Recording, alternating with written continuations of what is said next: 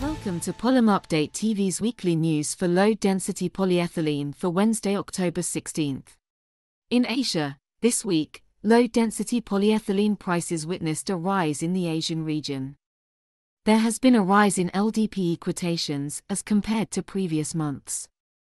However, there was no corresponding upswing in market activity, which has largely been muted. Meanwhile, buying sentiment in the region was reportedly hovering in the steady to soft range. In China, PE import market negotiations picked up in the week with participants prompted to raise their bids slightly for November December cargoes. Meanwhile, most overseas sellers are likely to commence the sale of November loading cargoes by late October. In Southeast Asia, PE prices gained in the week amid elevated quotes and buying ideas. However, the widening variance in purchase and offer ideas narrowed the scope for last minute bargains. Thank you for watching.